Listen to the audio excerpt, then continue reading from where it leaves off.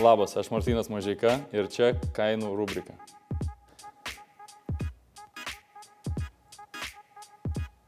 Septim centų.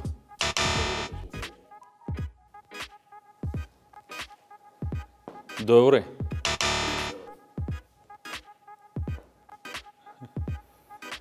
Mm, septim centų.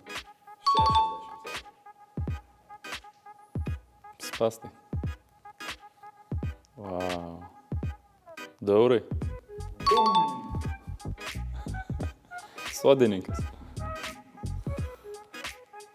Čia bus euras 19. 4 eurai. Wow. Keturi pem.